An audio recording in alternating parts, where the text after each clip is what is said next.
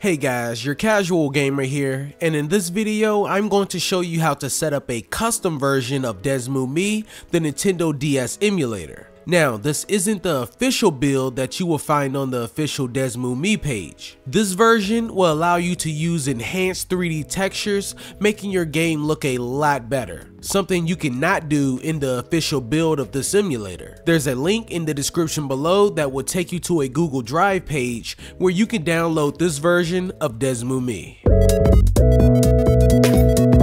Okay, so you're also gonna need 7-zip to extract the emulator, so if you don't already have 7-zip installed on your computer, the link to this page is in the description below. Here's the compressed emulator file on my desktop. Now to extract this file, assuming you already have 7-zip downloaded, you just want to right click on it, go to show more options, 7-zip, and then extract the DSHD is going to create a new folder containing all of your extracted files. We no longer need the zip folder, so we can right click on that and delete it. Now let's open that folder. And here's our emulator, DeSmuME X64. Now when you first open the emulator, you will notice that the screen size is way too big. You just want to go up to view, window size, and I'm going to shrink this down to three times. Okay, now let's go up to config and emulation settings. And under CPU emulation mode, go ahead and check the box to use dynamic recompiler. This will make this emulator run as smooth as possible. And make sure you stay on 100. Click OK. Now let's go back up to config, go to sound settings. Now to get the best sound quality, we're gonna switch this to synchronous. And down here, make sure it's on sync method in. Okay. And now we're gonna bump up those graphics. Let's go up to config, come down to high resolution 3D renderer, and we're gonna bump this up to the highest times four. Go back up to config, go to 3D settings.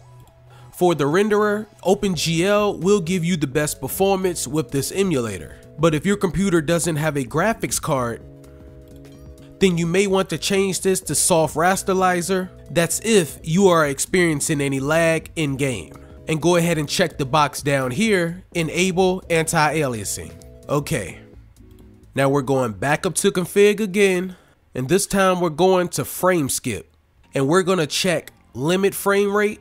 You're gonna have to open it back up, and we're gonna bump this all the way up to nine. Go back into it one last time, and make sure that auto minimize skipping is also checked. Now the reason we just did that is because if you want to fast forward in games, this will make your fast forwarding smooth. Now to set up your hotkeys so that you can have a fast forward key, come over to hotkey config and in here you can go ahead and set up all of your hotkeys and there's your fast forward. And one more thing we want to check back up to config and all the way at the bottom fast forward slash slow motion speed limit this should already be set, but just make sure that fast unlimited is checked and slow 50 FPS is checked. Now let's map out our controls. Back up to config and control config. Now I have only tested an Xbox One, Xbox Series, and a Nintendo Switch Pro controller with this emulator, and all three of those controllers do work. The controller I'm using right now is a Nintendo Switch Pro controller. Just make sure that you have a Bluetooth connection with your PC before you open this emulator and your controller will be good to go. Now to map your buttons out, all you want to do is hit whatever button you want to be that button that's highlighted green.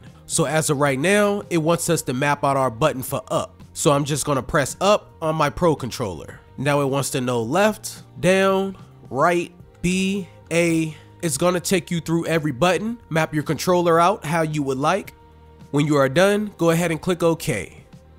Now before we load up a game, I want to show you guys what a compressed DS-ROM looks like and how to make it playable in the emulator. So in this folder, I have three DS games that need to be extracted. And to extract them, we are gonna use 7-zip. Let's do Sonic Colors. Right click on it, show more options, 7-zip, and then extract here.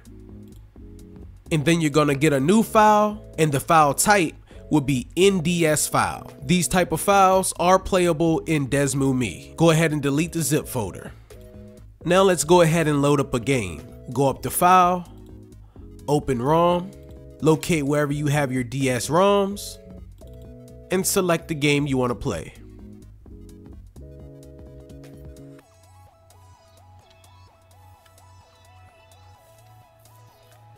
Now if you want to change your screen layout, you want to go up to View, LCD's Layout. So right now we are on horizontal. Let's switch to vertical. And we also have one LCD. I'm to go ahead and switch this back to horizontal. And another way you can lay your screen out is to go up to view, go down to screen size. And right now we're at 100% to 100%. And if we were to go up to the top 100% to 50%, that will make your left screen big and your right screen small. Now the best way to do this is come down to 50% to 100%. This will make your right screen big, which is your main game screen, and your left screen small, which is basically your touch screen. Let me show you what this will look like. There you go, and I can enlarge this so there are multiple ways you can lay your screens out. So play around with these and find out what makes you happy. Thank you guys for watching. I hope this video was helpful. If it was, make sure to leave a like and I will catch you guys in the next one. Peace.